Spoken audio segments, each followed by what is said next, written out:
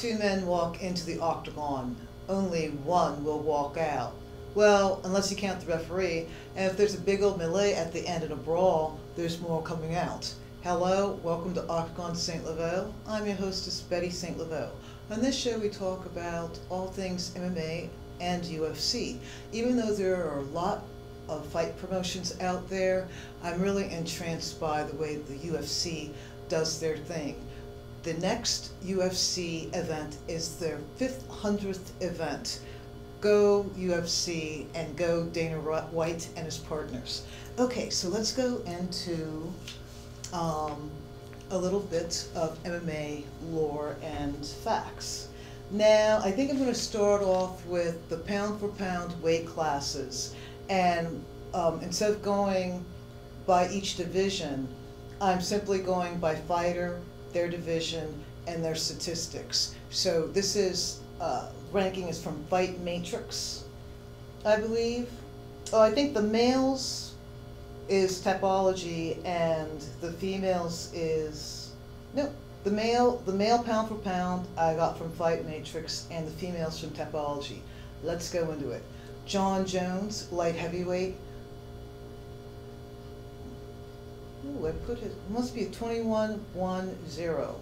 That's his, um, that's his statistics for a fight. Uh, Henry Cejudo, bantamweight, fifteen, two, and oh. Demetrious Johnson, bantamweight, twenty-nine, three, and one. Khabib Nurmagomedov, light heavyweight, 28, 0, and 0. Stipe Miocic, heavyweight, 19, 3, and 0. Max Holloway, featherweight, 21, 4, and 0. Kamaru Usman, welterweight, 15, 1, and 0.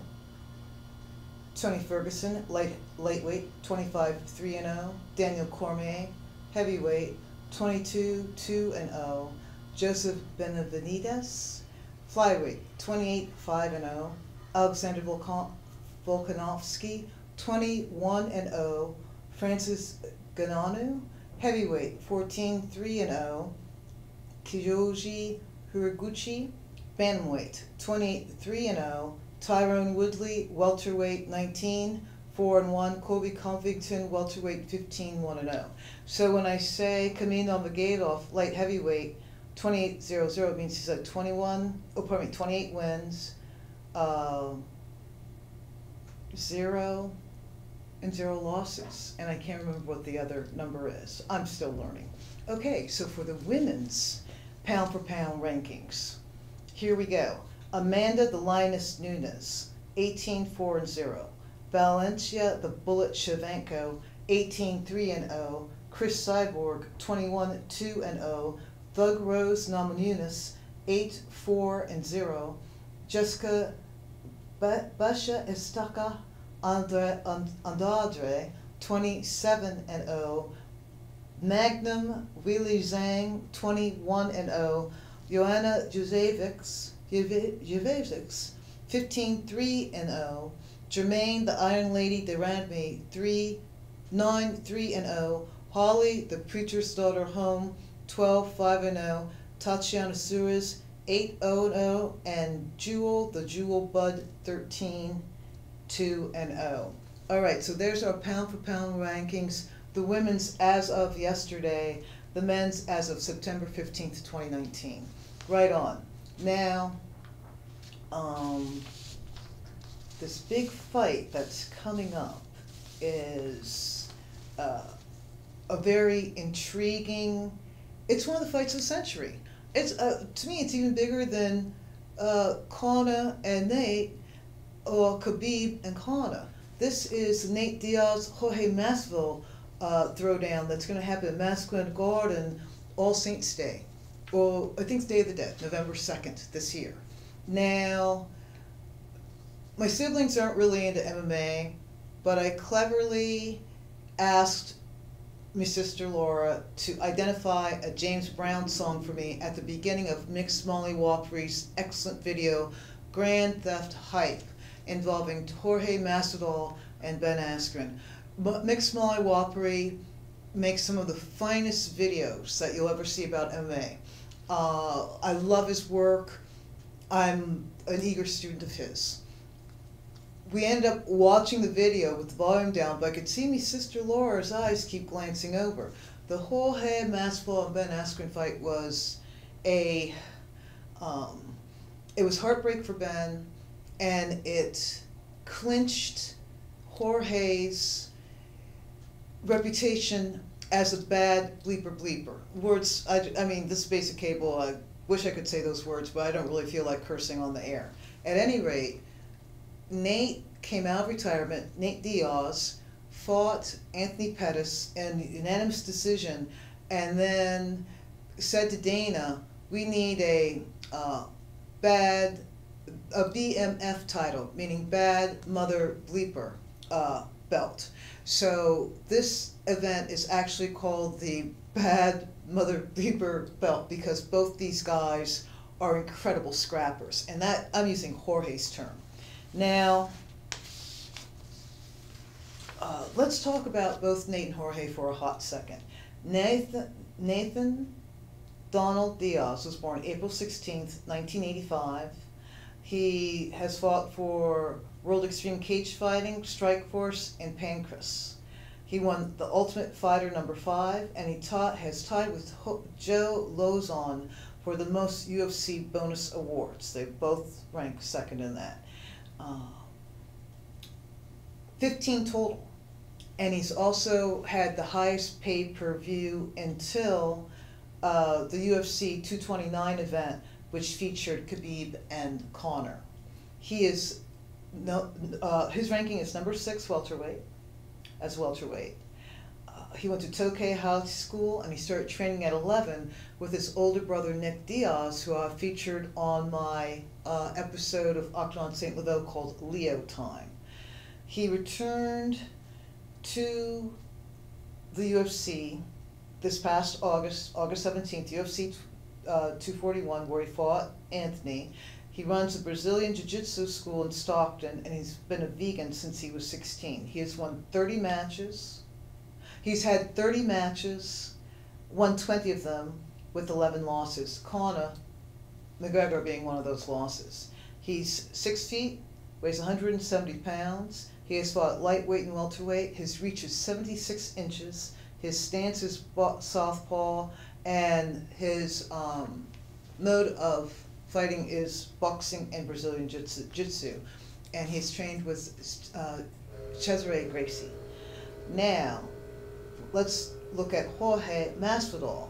He was born November 12th, 1984. He has fought for the uh, fight franchises Bellator, Strikeforce, Shark Fights, and Victory Road. His nickname is Gamebred. Uh, he's a welterweight out of Miami, Florida. He's Cuban and Peruvian. Went to St. Brendan High. His style is kickboxing. He's been with the UFC since uh, 2003.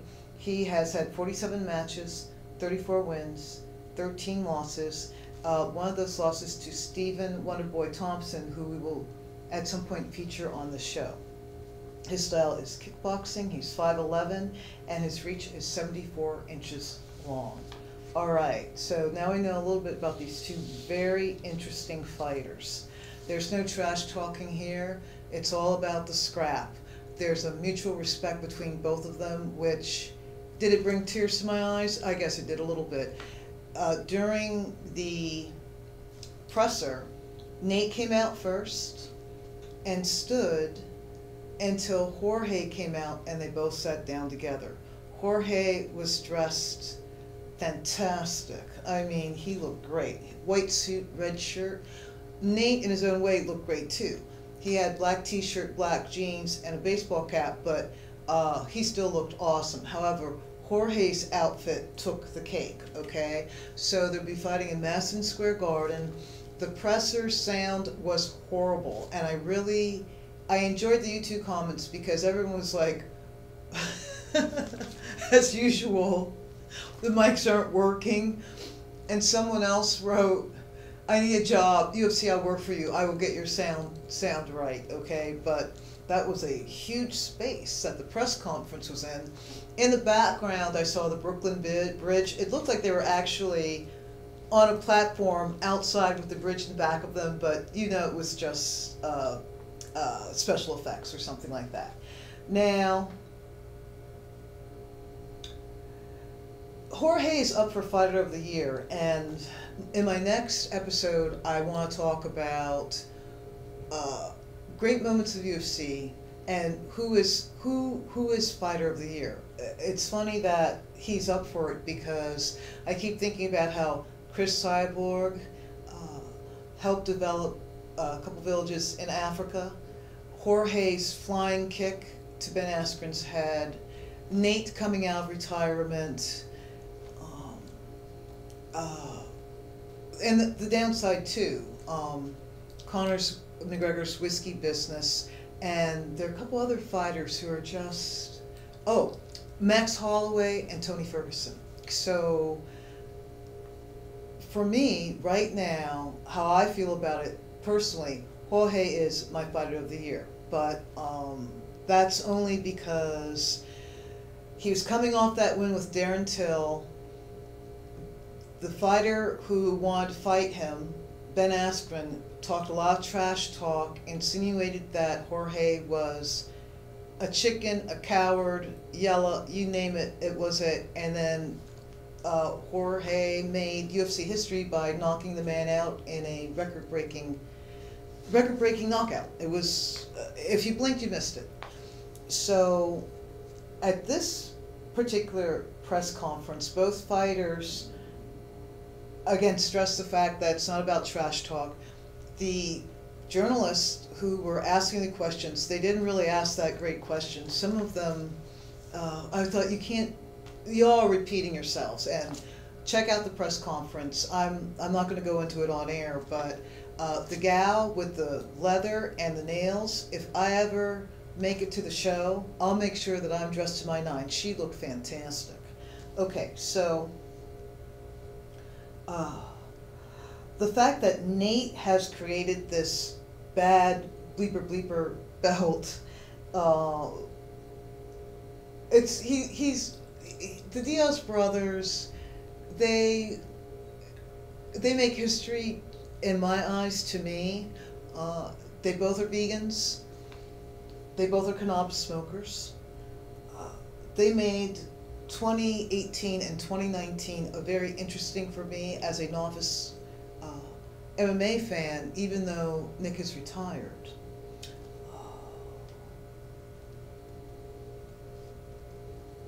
I will say that at the press conference, one of the journalists got booed by asking Nate, "How can you say you're tough when you're a vegan?" The guy got booed. I don't, I don't, I don't blame the people, but I wouldn't have booed him.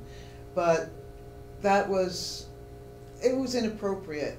Uh, I was raised vegan as a child, me and my siblings, and probably some, most of you all were also, and you're very fit without the extra protein on your body. Uh, that's that's how I look at it. For me, eat what makes you feel good. Eat what you eat. I eat. I just got into lamb. I will uh, probably not give up meat anytime soon, but I can totally res respect a vegan stance about not eating meat. Number one, and if they're a fighter, that is incredible. So, at the press conference, the fans and the press, everyone looked happy. Everyone is happy to see these two guys, the uh, consummate professionals. Nate has fought and feuded with the UFC for years about getting paid uh, the way he should. And there's a very famous video clip of when um, a wrestler there, uh, uh CM Punk, went into his MMA debut and the soundbite went viral. Later, Nate was seen as a prophet because he said, Look, this WWE guy is coming into our turf. I've been working here for peanuts, fighting for peanuts, and this guy's going to make more money than anyone in the room um, because he's a big draw, uh, and it's not fair. So I think that's one of the reasons why the Diaz brothers um, retired a bit.